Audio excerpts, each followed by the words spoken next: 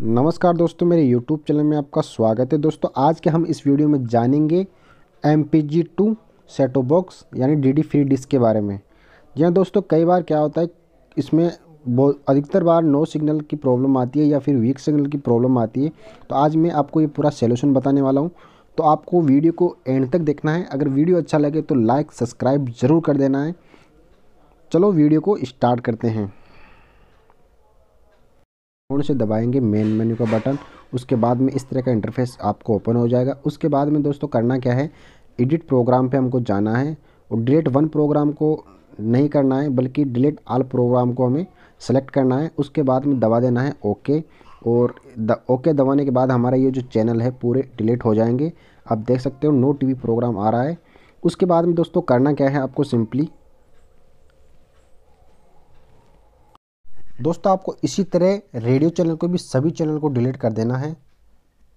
ठीक है दोस्तों, जैसे मैं कर रहा हूँ, इस तरह से आपको रेडियो चैनल के और टीवी चैनल के सभी चैनल को डिलीट कर देना। फिर हमको चाहना टीवी चैनल लिस्ट में तो आपको इस तरह का इंटरफेस दिखाई देगा। नो टीवी प्रोग्राम, आप देख सकते हो। और अब दोस्तों, यहाँ से शुरू होती है अपनी सेटिंग। ठीक है दोस्तों, अब आपको यहाँ पे ज़ोर डालना है दिमाग का, और यहाँ से हमारा खेल चालू होता है। तो दोस्तों, सबसे पहले हम करना क्या है?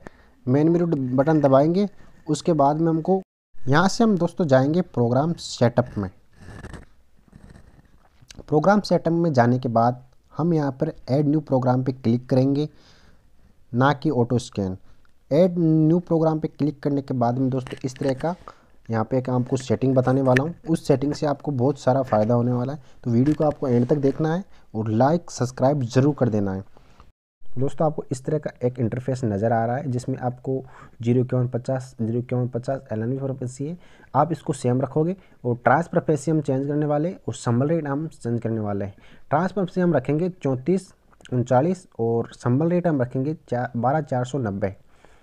प्रॉपर्टी आपको एच रखना है और बाईस के ऑफ़ रखना और नीचे वाला भी आप ऑफ़ रख सकते हो और मोड आपको एक बार आल रख देते हैं।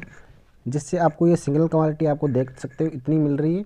और उसके बाद में दोस्तों, आपको ओके नहीं दबाना है। कई बार इनको ओके दबा देते हैं, जिसके कारण नोट फाउंड प्रोग्राम आता है। तो दोस्तों, आपको पहले आपकी जो छतरी है, उसको सेट कर लेना है। उसके बाद में अगर आपकी छतरी सेट हो जाती है तो उसके बाद में आपको इसको ओके दबाना है, जिसके वजह से आपका ये पूरा सिग्नल आ जाएँगे।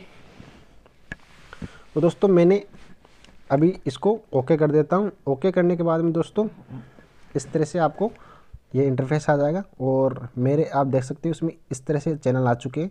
तो इसमें नो टीवी चैनल आए मेन्यू में जाना है मेन मेन्यू में जाके आपको प्रोग्राम सेटअप में जाना है। प्रोग्राम सेटअप में जाने के बाद आपको ऑटो स्कैन करना है। ऑटो स्कैन के करने के बाद यहाँ से कर देना है ओके ओके करने के बाद में दोस्तों हमारा जो चैनल है वो ऑटो स्कैन हो रहा है।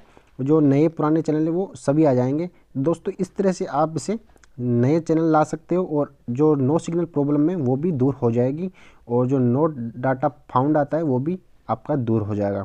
तो दोस्तों, अगर वीडियो पसंद आए तो लाइक सब्सक्राइब ज़रूर कर देना और मिलते हैं अगले नए वीडियो में। तब तक के लिए नमस्कार।